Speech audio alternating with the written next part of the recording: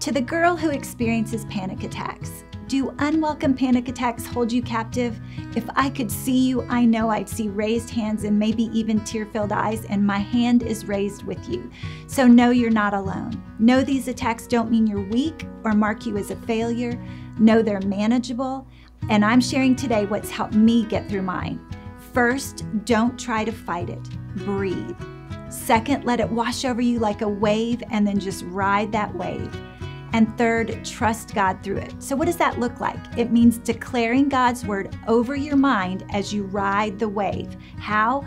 Identify the trigger or thought that brings on the attack and then find a Bible verse to interrupt it. For me, it's Isaiah 26 3. Thank you, God, you will keep me in your perfect peace because I trust in you and keep my eyes fixed on you.